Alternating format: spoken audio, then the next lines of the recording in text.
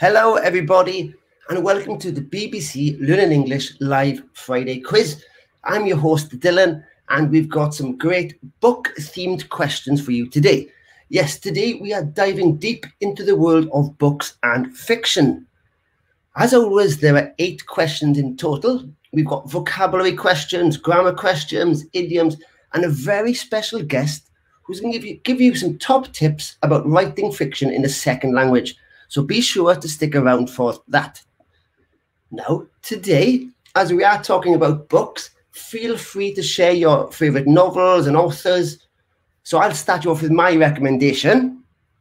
Uh, and my favorite book of all time is called 1Q84 and is by a Japanese author named Haruki Murakami.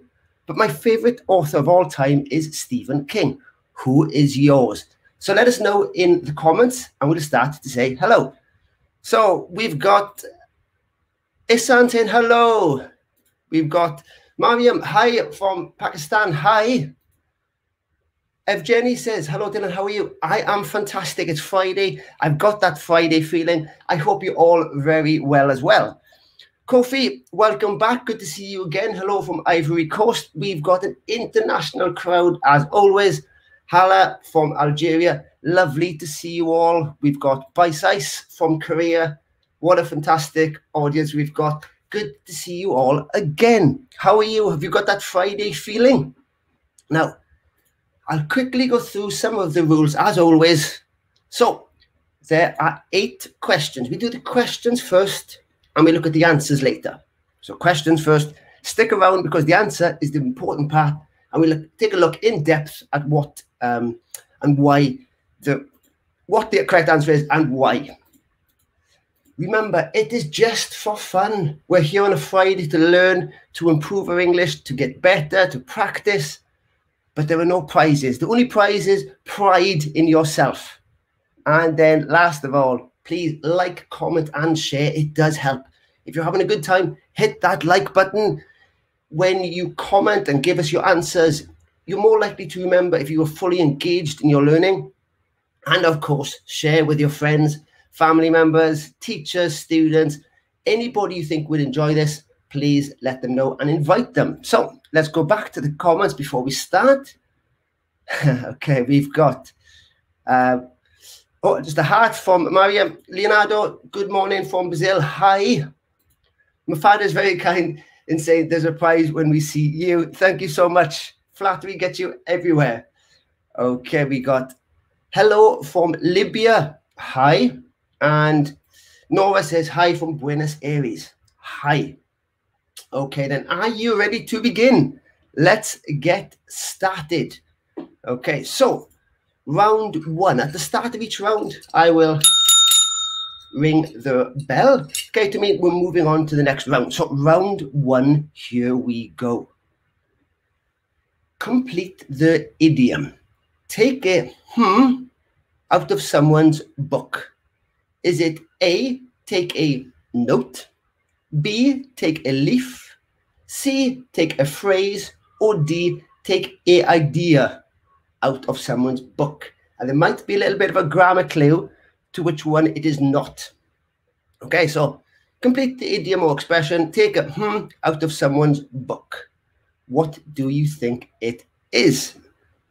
Okay, lots of answers coming in already. We've got note from Kirk. We've got note from why idea. Oh, I like to see there's a wide variety of answers come in, which means we've got a lot to learn because you can't all be correct. Bill is going for A. Mandy saying note sounds just sounds right, but you think leaf. So somewhere in the back of your brain, leaf is jumping out. We'll take a look at the answer later. So stick around. Take a hmm out of someone's book. Is it A note, B leaf, C phrase, or D idea? On we go. Already. On to question number two. Already. Here we go. So round two is looking at the the name that we call a short novel. So a short book, okay, it's longer than a short story. It's shorter than a novel. What do we call it? Do we call it A, a novella, B, a booklet, C, a pamphlet, or D, a leaflet? So, one more time for you. A short novel. So, this is longer than a short story, shorter than a novel, somewhere in the middle. Do we call it a novella, a booklet, a pamphlet, or D, a leaflet? What do you think? Let me know. So, we've got two novella. Milala says novella. Gokvan novella. Lots of novellas coming in, but a bit of variety as well. We've got Fabio going for booklet. Hussein, Hussein sorry, Hussein, you've there's so many comments flying in, it's hard to catch them before they go. But yeah, we got lots of A's, lots of B's. So a booklet and novella seem the most popular answers with a few C's and D's here as well. Now, Salafu says it's out of my knowledge. If you if it's if you don't know the answer, take a guess. And the good thing is, if you don't know it, it means there's something for you to learn. Okay. On we go. Question number three. Okay. So if you have just joined us, this is round three of the BBC Learning English live quiz. We do this every Friday at 1.30 UK time. You can also find lots of our content on bbclearningenglish.com or on Instagram, Twitter, Facebook, and YouTube. So be sure to check us out after the show, of course. Round three is a grammar question. And I love the grammar questions because they can be a little bit tricky. Now, fill the missing word. I have read, hmm, his books. Is it A, all of his books? B, each his books? C, every his books? Or D, every of his books. So a nice little grammar question. Now, some of you, if you do follow us on Instagram or Twitter or Facebook, might have seen a similar question to this on Wednesday. So some of you might have a slight advantage. But if you didn't, we'll still try anyway. If you don't know, take a guess. A, B, C, D, all of, each, every, every of. Okay. Bill is going for A. Hash Gupta is going for A. We've got Tak Takmina going for D. We've got every of. Kofi for every of. Okay. I thought all of maybe, but you're not so sure. But you've taken a guess, and that's what we like to see. So remember, we'll do the questions first, and we'll do the answers at the end. So stick around. Don't go anywhere. On we go. Question number four, round four. Now, round four, every every week we've got a question which asks, which of these is not something? So be careful with the word not. Which of these is not a popular genre of books? Is it A, westerns, B, sci-fi, C, romance, D, young adult, E, dystopian, or F, theme?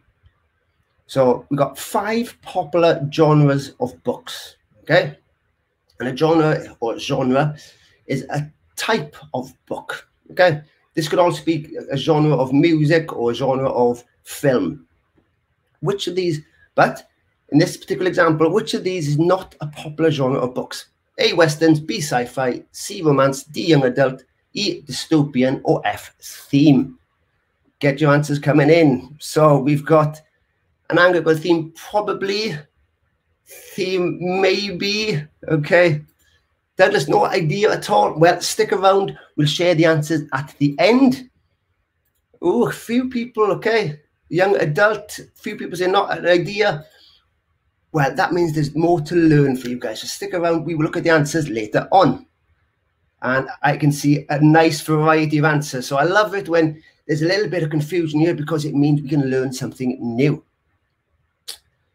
Okay. Nora, I don't know what is dystopian. I will explain all of these words at the end when we get to um, the answer section, okay?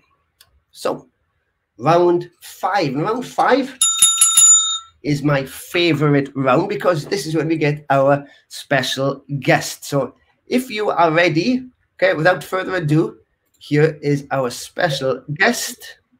Hello to, oops, hello to Sophie Hardach, journalist and author. Hello. Hi, Dylan. Hi, everyone. Thank you so much for having me. It's a real honor to be here. Right, thank you so much. latest book. It's called Languages Are Good for Us, and you might even recognize your own language on the cover. Okay, there you are. Straight into it, Sophie. So, like you said, you've written this book, um, Languages Are Good for Us. Could you just tell us, you know, as language learners, what are some of the benefits of learning a second language? Well, Dylan, for me, to be honest, the biggest benefit is that it gives you a ticket to another world. And what that could mean talking to more people, right? New friends. It could mean books, films, music, perhaps even another job, right? So many things, but it means your own world suddenly gets so much bigger. Opens so many doors and opportunities, doesn't it? Absolutely. Okay. So, Sophie, I believe that English is not your first language but yet you have published several books in English. What benefits have you felt you have gained from writing in a second language? And do you recommend our audience use fiction writing as a tool to improve their English at all? Yes, absolutely. So I'm German, and my own language is German. But as a journalist, I've worked for many international media and I write in English. And then I write my books in English partly because it gives me so much freedom. So if you write in another language, you can really play with the languages you speak. Perhaps it's two, perhaps it's even more. Um, and you can kind of just create your own world, right, of words and languages. Okay, excellent. Thank you very much for that. And I believe you've got a question for us. Yes, I'm very excited to present uh, question number five. It's an idiom, and the idiom is about how we shouldn't judge people based on their outward appearance. Now, the idiom is don't judge a book by its hmm. Is it A, first page? Don't judge a book by its first page. Is it B, cover? Don't judge a book by its cover. Or is it C, title? Don't judge a book by its title. Okay, I love the question. Could you just repeat it one more time, please, Sophie? Yes. So it's don't judge a book by its hmm. Find the missing word. Is it A, first page? Don't judge a book by its first page. Is it B, cover? Don't judge a book by its cover. Or is it C, title? Don't judge a book by its title. Okay. Sophie, fantastic question. Thank you for joining us. Thanks for your tips and thanks for your wonderful question. Thank you very much. Okay. Bye. Bye, everyone. Bye. All right, then. So, a question there for you. Let me know what you think the answer is. Okay, and we got lots of people saying the same thing, the same answer. Okay, we got B, Kalaya going for um, cover. We got Piotr going for cover. Lirimilala going for cover. Have you got any other variety here? Lots and lots of covers. Helene go for by its title. Elaine also agreeing, don't judge a book by its title. Hala, Sarah also going for by its title. Now, stick around and we will look at the answers later on. But for now, let's move on to question number six. Okay, question number six is the truth is hmm than fiction. Okay, the truth is A, stranger than fiction, B, weirder than fiction, or C, odder than fiction. What's the best word to go in the gap here? A, stranger, B, weirder, or C, odder? Okay, let me know what you think it is. And we've got uh, love is going for stranger. We've got uh, A, Layla going for stranger stranger, and some B's coming in as well. B, B, and weirder from Mohammed. Okay, and Elaine. Oops, lots of comments coming in. Some of the comments have gone, excuse me. On we go, round seven. So two more questions to go, round seven of eight. And we look at the answers after that. So which phrasal verb means to read aloud? Okay, is it A, read up on, B, read for, C, read out, or D, read over. So this phrasal verb means to read something aloud so that other people can hear it. And if you do like phrasal verbs or if you struggle with them and you'd like to learn more, on Instagram, Facebook, and Twitter, every Friday morning, 6 a.m. UK time, we put out a new phrasal verb table, which is really useful, It gives you lots of practice, and explains lots of phrasal verbs for you. So it's really nice practice if you'd like to practice more. And come in and let's see what you've got here. Flyway, read for, read out. D, read over. Rachel, read out. So lots, oof. Again, another question which I like to see where there's a bit of. With variety of answers coming in. So let's move on and we'll find out the answer very, very soon. Last question before the answer section is What do you call the person who tells a story? Is it A, narrator, B, an orator, or C, a voiceover? What do you call the person who tells a story? A narrator, an orator, or C, the voiceover? And we'll take a quick look in. Sergio going for C, the voiceover. I going for C. Tsai going for narrator. And I like the confidence of Yun, who says A, definitely. Okay.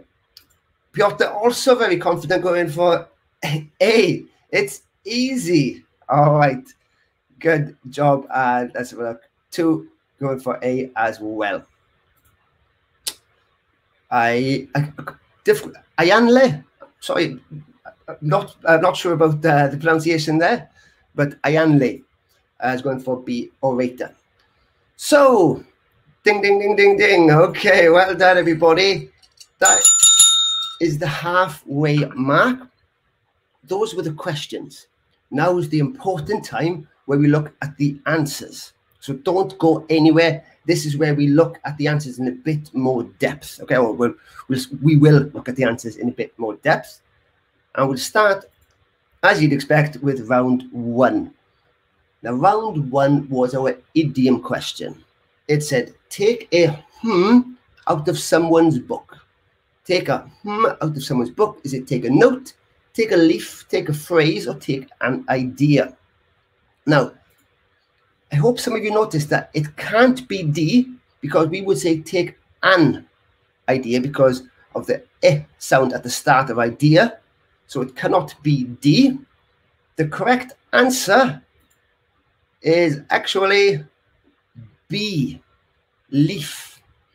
Now, it's a little bit strange, isn't it, to use the word leaf. So why have we used this here? So let's first of all look at the meaning of the expression. So here we say that we are copying or emulating somebody successful. We look at some element of a person's success and we look at ways in which we can copy them in order to improve ourselves.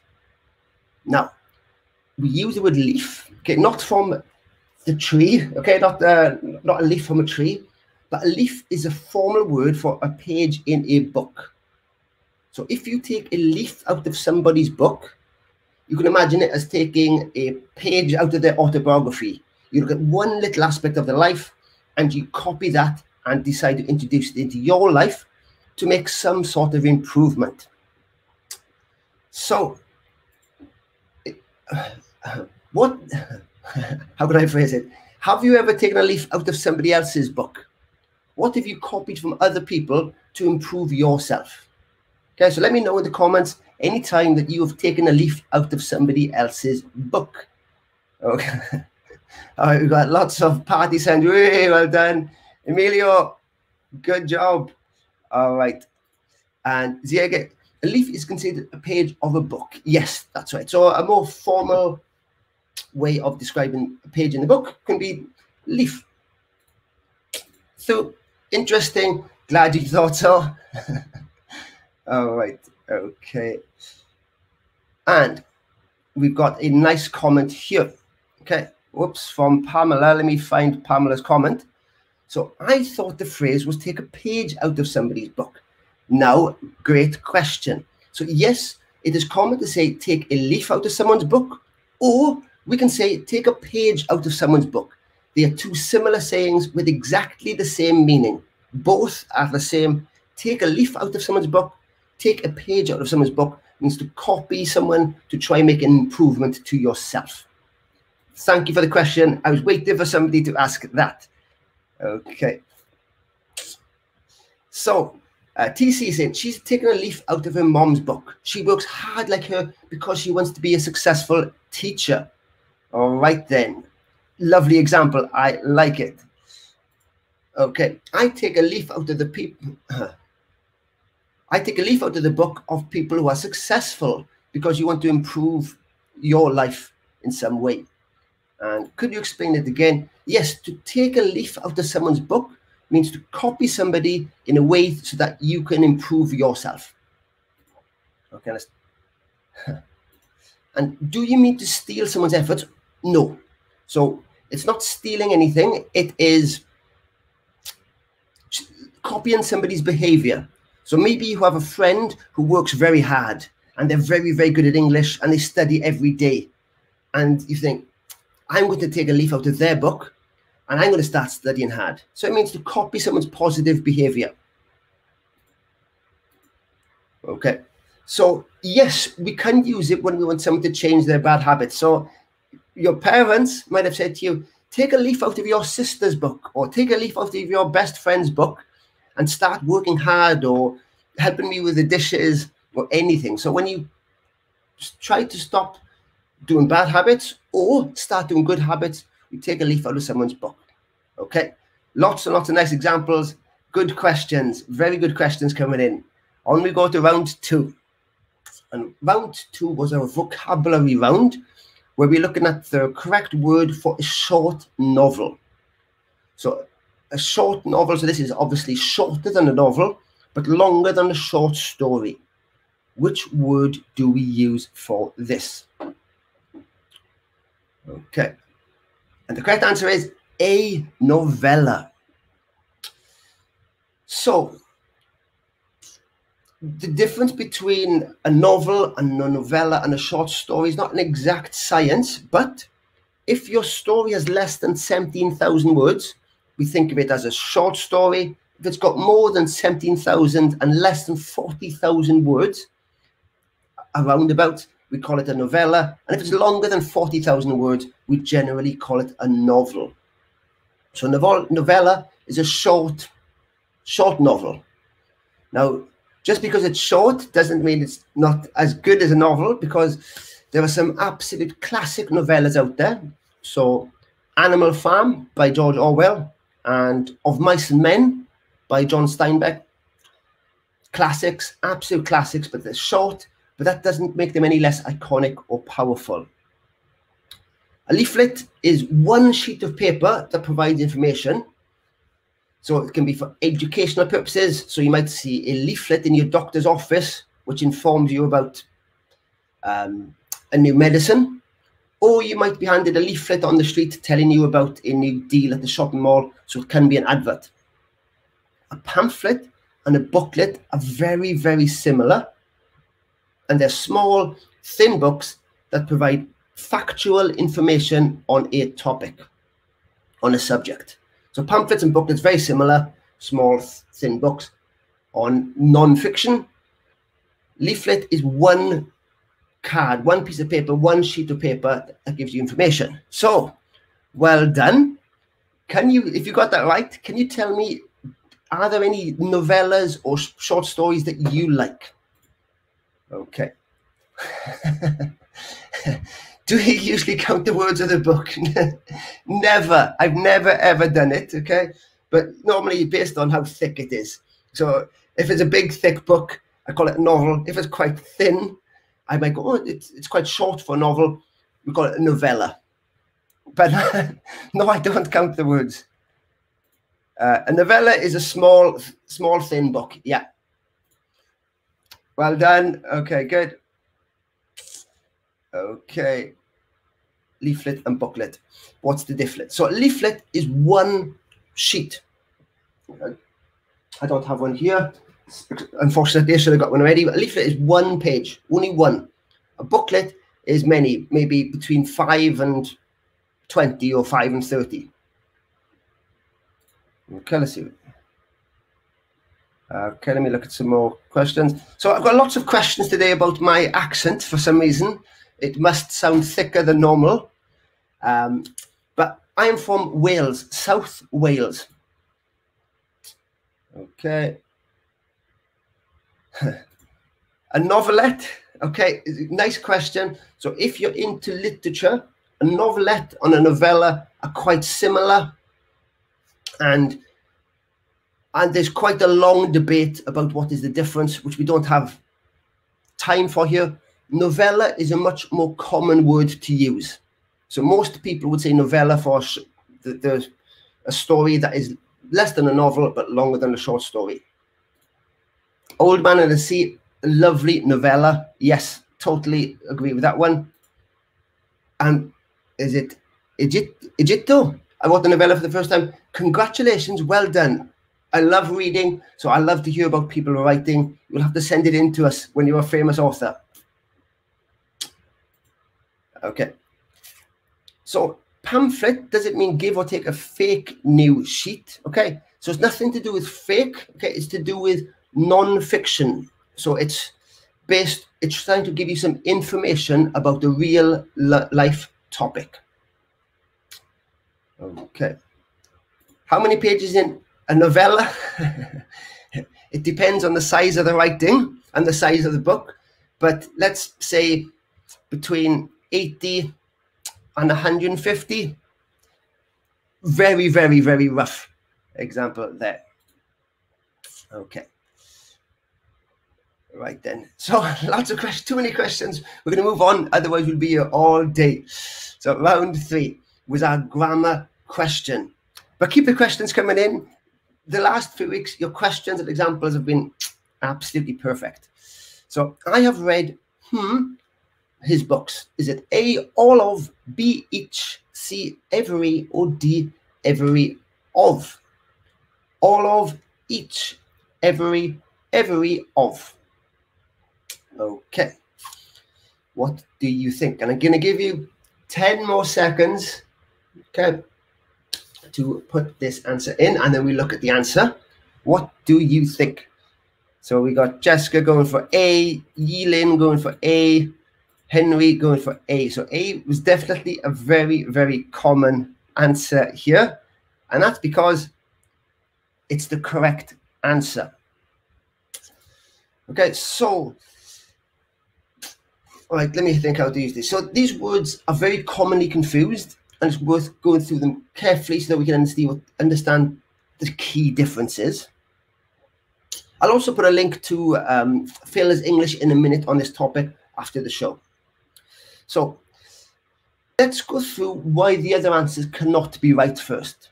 So it cannot be B, each, because each should either be followed by of or a noun. So we can say, I have read each book of his, okay, with the noun straight after each book. Or we can say, I have read each of his books. Okay, we cannot say each his books. It can't be C because every is always followed by either a noun or noun phrase. Okay, so I can be say I can I have read every book he has ever written, but we can't put every his book. It can't be D because every is never followed by of. So we never say every of. So that means the only correct answer is um, A, all of. Okay, and we got a nice comment here. Okay, so all plus noun, or you can use all of plus determiners two. Very, very nice um, description there. Thank you very much. Uh, thank you very much. Okay, okay. Uh, we got a nice example sentence from Adam. Adam, saying all of his friends are friendly, nice. Okay. And any more comments here? And yes, I have read all of his novellas. Good. So why not every of? We never every of. We never ever follow every with the word of. Okay, so we follow every with uh, often with one or with a noun or noun phrase, but we'd never ever follow it with of. Okay. Okay, perfect, Yun. So for anybody else, grammar lesson each and every. We put this on Facebook and Instagram and Twitter on Wednesday. So maybe some of you caught it.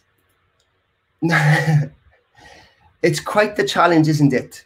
I have read all of Stephen King's books. Okay. Wow, what an author. He's got so, so many. Okay. And usually after each and every has to be a singular noun and every and every, as I mentioned, is never followed by of. Okay. So everything's right, every video of BBC. So let's have a look of some example sentences. Show off to all my friends. So time to show off to all of my friends with the new English I have learned. What what an example sentence. I love it. Okay. Yes, we can use some of his books. Absolutely. Oh, okay. So we can say, I have watched all of this BBC lesson, talking about one. Uh, or you can say, I have watched all of BBC Learning English's lessons. Okay, because you're talking about more than one. Yeah. Okay. And we got a nice example here. All of us here are lucky because we learned something new. I love it. So fantastic examples. Okay. And Salah, Salah, Salah is asking, can you tell me the timing for your lesson? Yes, we start at 1.30 p.m. UK every Friday, and it takes about 45 minutes. On we go, okay? We can't, it's time to move on. Number four, which of these is not a popular genre of books? And this word in the middle, genre or genre, both pronunciations are fine. So genre, genre. Which of these is not a popular genre of books? A. Westerns, B. Sci-fi, C. Romance, D. Young adult, E. Dystopian, or F. Theme. So this one caused quite a bit of confusion and a variety of answers here. Okay, but what do you think? And I'm going to give you another six seconds to get your answers in. And by the way, if you are enjoying, please hit that like button. Okay, please, or even better, hit that heart love button as we wait for the last answers to come in. Oof, wide variety. Lots of people are not sure about this one. So we'll go on and let me tell you that the correct answer is F theme. Okay, so theme is associated with literature, but we talk about the, the theme being the main idea or the underlying meaning that a writer explores in a novel or a story or in a film. Okay, so the theme is the the main point, the main idea. Okay, what are you trying to portray? Okay, in your story, genre is a typical uh, is a is a type of story. So let's look at some of the others to make sense of that. So a western is a novel that features cowboys in the American Wild West. So this is set from the late 18th to the late 19th century in the American Wild West. You got cowboys, Native Americans, shootouts, people riding on horses. Um, that type of thing is a Western. Sci fi is short for science fiction, and this deals with imaginative, futuristic scenarios. So if you read a book or see a, a film with robots and aliens and spaceships, this tends to be sci fi. Romance obviously deals with love stories, young adult novels, often called YA novels, okay, are books that are aimed at teenagers or children between the ages of 12 and 18. They often deal with quite serious and important issues, but they do it in a way that is more appropriate to younger readers. Now, young adult novels are not only read by young people, so probably the most famous example of a young adult book is Harry Potter. Now, it's thought of as a young adult book, but it's read by people of all ages. And then the last one is Dystopian, which talks about um, a fictional community or fictional society that is very, very undesirable and very frightening.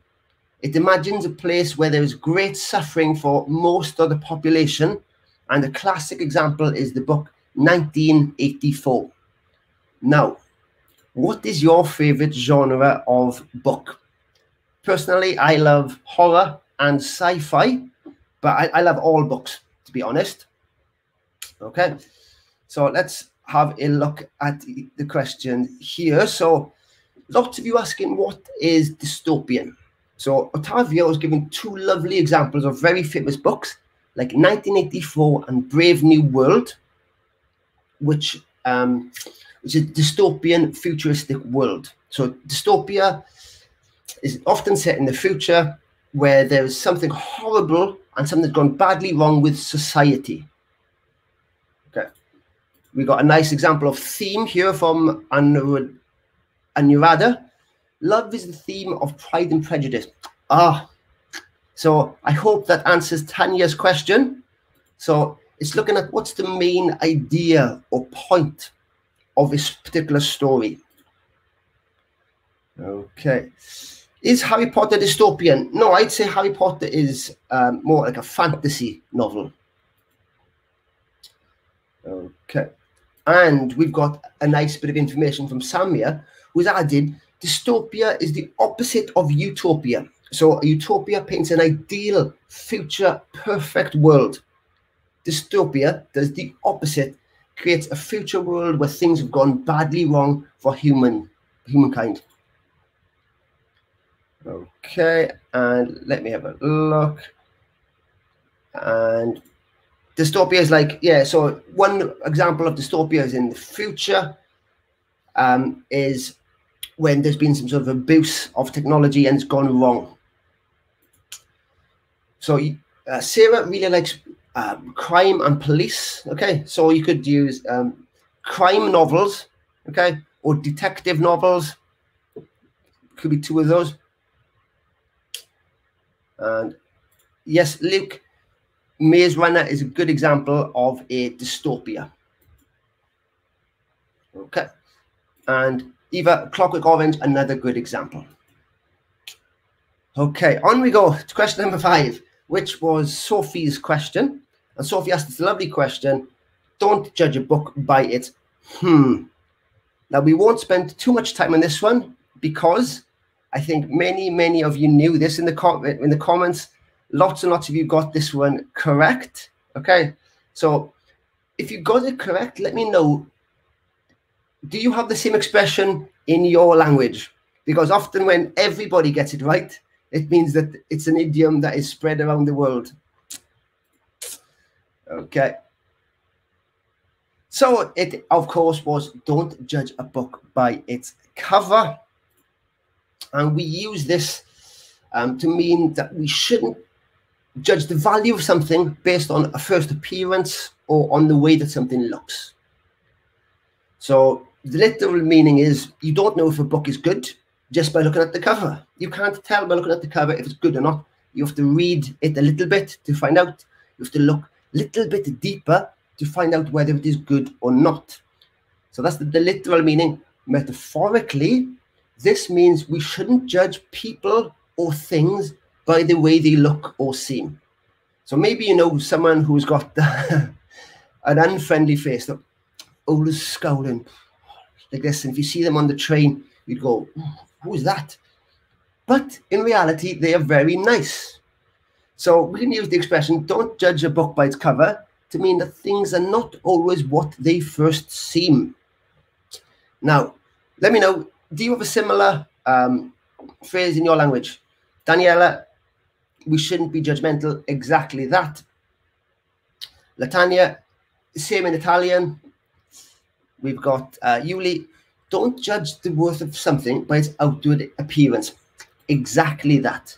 Going back to the last question, what genre is Lord of the Rings? That's a fantasy novel. Okay, so we've got that. Liana's also got it in French. Somebody said in French as well. Okay. All right, okay, let's look. Well done. Yes, good, Elin. Don't judge someone by appearance. Okay. Uh, let's have a look here. And same in Romanian. And we got somebody else, sorry, here, with a similar, similar but slightly different meaning. All that glitters is not gold. So everything that looks good is not necessarily good. So a similar expression. Okay. So don't judge a book. So if I say don't judge the book by its title, it's false. Well, it's not false. It's just not commonly said. So don't judge by its judge a book by its cover is a set phrase that's very, very common. You could say by its title, but people wouldn't know it. Okay. Okay. And one more question. The genre of Matrix, it is sci-fi and dystopia. So you can use, you know, often books are two genres. now here is an expression I've never heard before, but I love it. Don't judge the message in the letter by looking at the, the envelope. I really like that, even though I've never heard it before. Okay, on we go. Round six. Ha, round six. So again, we're looking at a set expression. The truth is hmm than fiction. A, stranger. B, weirder. Or C, odder. Now, all three of these words have a pretty similar meaning, but this is a set expression where we 99% of the time will use one particular word here. What is that word? Is it A, stranger, B, weirder, or C, odder? Okay, and a, a nice variety of answers. Most people go for stranger, but few people are going for weirder, few going for odder. Correct answer is C, is 6A.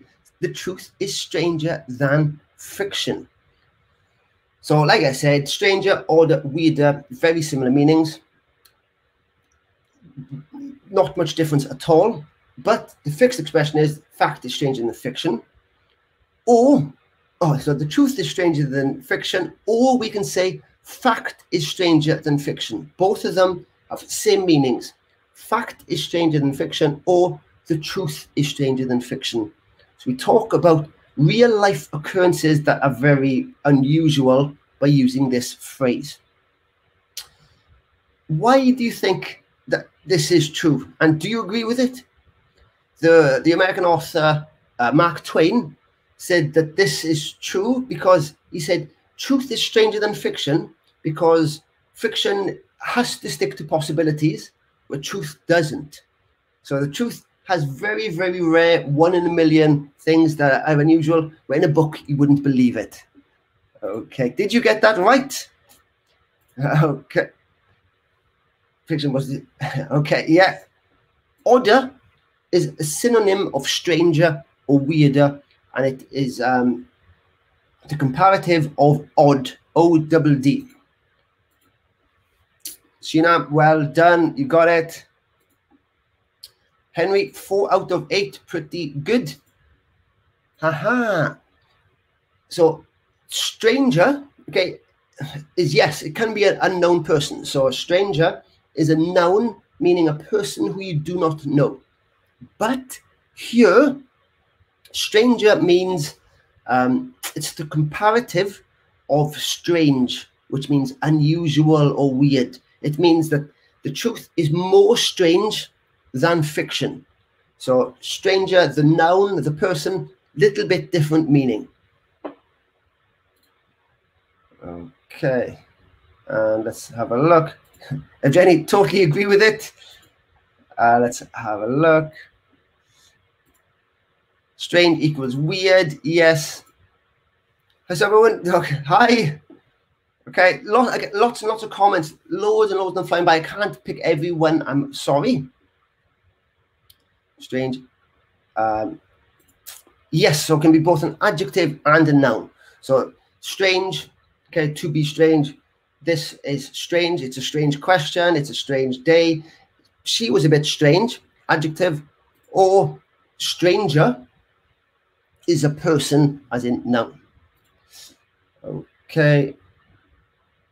And Daniela, strange, stranger, the strangest, fantastic information. Thanks for sharing. And can we use peculiar? So, peculiar has a very similar meaning, but this is a set expression. The truth is stranger than fiction. So, we, oh, 99% of the time, this is the phrase that we use. Two more questions to go. Let's crack on with it. Phrasal verb question. Okay. Which phrasal verb means to read aloud? Is it A, read up on, B, read for, C, read out, or D, read over? So phrasal verbs can be tricky. So be sure to follow us on Facebook and Instagram.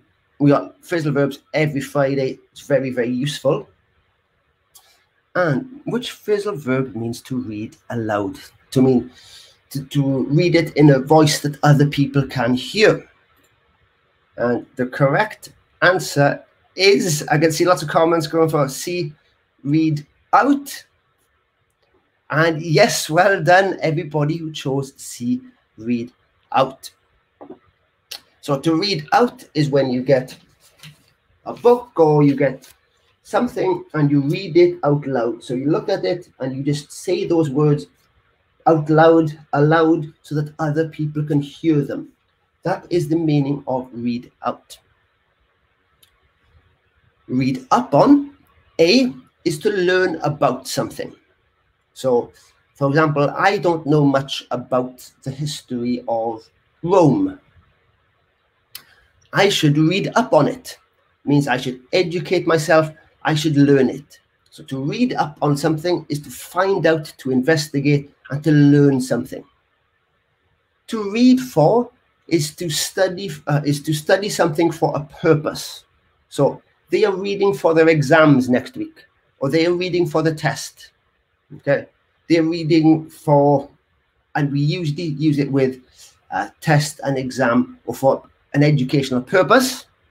And read over means um, to quickly read something, to quickly read for a specific purpose. So I'm sure you're familiar with this. I've forgotten everything from class today. I'll have to read over the notes before the test. Or it can mean to read something quickly from the start to the finish. So you might give someone the advice read over the contract before you sign it. Okay. And I was going to ask you this question how here, okay, when you were studying English and you had to read out aloud, how did you feel about that when you were a student or even now? Okay, what made me shy is reading out the poem in front of many people. Public speaking is difficult for many, many people. Okay, Mandy's got, I thought read for was to read for somebody very good point. You can also, many phrasal verbs have many meanings. Yes, read for can also be to read for somebody else. So my my grandmother is sick in bed. So she asked me to go and read for her every day, and I read out the newspaper. So absolutely, Mandy, very good point. Can I read out a book when my friend is sleeping? You can. I don't know if your friend will ap- appreciate it if he's trying to sleep, but yes, you can read out. Um, and coffee, we read out when we want people to hear what we read. Exactly that. Good advice from Win. You shouldn't read out your books in the library. Definitely not in the library, isn't it? Okay. And read up on exist. Yes, common phrase meaning to um, to study something, to learn something new, to find something out. Okay. Uh, let's have a look. And let's read the passage. And, and there's an Can you read out the passage to our audiences? Very good. And Paves, he read out the names of all the winners. Okay, good. And Adam, last example here, you can read out the Holy Quran. Yes, so to read aloud is to read out the Holy Quran. Good. Round eight, last question. Here we go. How are you doing so far? Is this for eight out of eight? How are you doing? Let me know. Okay, last question. What do you call the person who tells a story? The narrator, the orator, or see the voice over? What do you think? Narrator A, B, orator, or C, voiceover? Da-da-da. Okay, the correct answer is A, the narrator. Now, the narrator is the person who narrates something, okay? As is the clues in the title. Now, this is somebody who tells the story gives an account of something. And this is especially true of a character who um, recounts the events of a novel or a narrative poem. And it can also be the person who speaks in uh, as the voiceover of a film or television program. So it's the character who tells you what is happening in a book or a film. An orator is a public speaker, especially somebody who's very, very skillful at what they do. So somebody who's very good at public speaking, you can call an orator. And a voiceover is the person speaking over the top of a video clip. Now, sometimes, sometimes this is the narrator telling a story, but it doesn't have to be. So you can be watching a documentary about World War II soldiers, and you hear many, many uh, soldiers talking about it. They might tell stories, but they won't be the narrator. The narrator is the main character who tells you what is happening in a book or a film. Now, let me know. Do you have any questions about any of those questions today? We got, I'll give you two, three, four minutes to answer or uh, to ask questions. I'll try my best to answer as many as I can. Please let me know how many did you get right and which questions were the most difficult. Okay. So, narrator read out the book for the audience. So, yes, the narrator could be somebody who's reading out a book aloud. So, they read out the book to the audience. Nice use of read out of Jenny. I love it. Is narrator both for women and men? Yes. Okay. Okay, Yun, I got five out of eight. Thank you for joining us. Have a lovely day and a lovely weekend. Is my job counted as a narrator? No, it is not. Um, so we often use narrator for a, I'm more like a teacher. Okay. A narrator tells a story. So because we're doing different questions, I'm not the narrator. A narrator takes you on a journey through a story, usually through a book or through a film. Six out of eight. Good job, Jessica. Fantastic. Very, very good. Okay. Um, let's have a look. Joined late, but got full marks. Well done. Not bad. Okay. The narrator helps us to understand the story. Yes, they're the person telling the story and they give us the details. Okay. Uh, voice is someone talking on the radio. Voiceover. I would say no a voiceover, we usually talk about a voiceover when we can see something, but we uh, we can see something and somebody is talking over the top of that. So we use it with video, where maybe there's um, music or there's some background noise, and then somebody talks over that video. So not usually for the radio. Um, what do you call a person who presents a webinar? Host, presenter, or the host? Okay. Okay. Thanks for joining. See you next week. Uh, we got is the meaning of order the comparative form of odd? Yes, it is. Okay. And let's have a look here. Eight out of eight the first time. Well done. Congratulations. Okay. Okay, so unfortunately we choose around eight. Next challenge. So we do start at 1.30 every Friday. See you next Friday. Okay. On that note, everybody. Um, on that note, let's say see you next week, 1.30 Friday for the next BBC Learning English live quiz. Have a lovely day. Have a lovely weekend, and I'll see you next time. Bye.